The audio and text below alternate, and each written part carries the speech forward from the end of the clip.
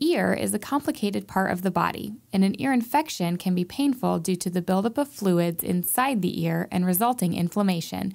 But why are children most likely to get an ear infection? Parkview pediatrician Dr. Tony GiaQuinta explains that it's all in their anatomy. There's a drainage tube called the eustachian tube that connects that middle ear actually back to the oropharynx, and it helps drain whatever fluid's in there. However, infants and young children have a little bit different anatomy as they grow older, and that eustachian tube is notorious for getting kinked off. When that happens, any fluid in the middle ear can't escape, and it is a wonderful breeding ground for viruses and bacteria. Antibiotics are most commonly used for the treatment of ear infections. However, depending on a child's age, spotting an infection may be difficult. Young infants, like infants less than six months old, aren't able to communicate where their pain is or, or what is causing their infection. So every time we have a young child with an infection, it's our job to do a complete head to toe exam and look for all of the common and uncommon sources of an infection. And so we will always, always look in those ears to see if that might be a source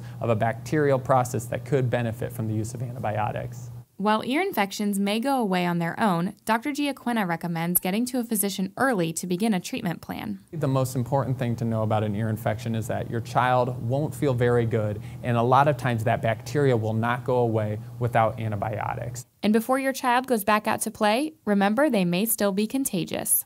Ear infections in themselves are not contagious. However, the virus that may have brought on that ear infection is something that is contagious. And it's not localized just to the ear, but again, your whole body is usually shedding that virus and can certainly be passed along from one person to another. While there's not much that can be done to prevent an ear infection, the best form of defense is vaccination. Your child is going to be in the environment, they're going to be exposed to lots of different viruses and bacteria.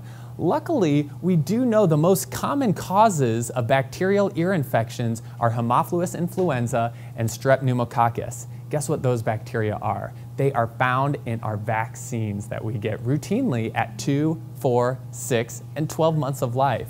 So many of those types of bacteria we are actually preventing by just getting our routine vaccinations. And we have found indeed that we are decreasing ear infections because of those vaccines. This has been Making the Rounds, brought to you by Parkview Health.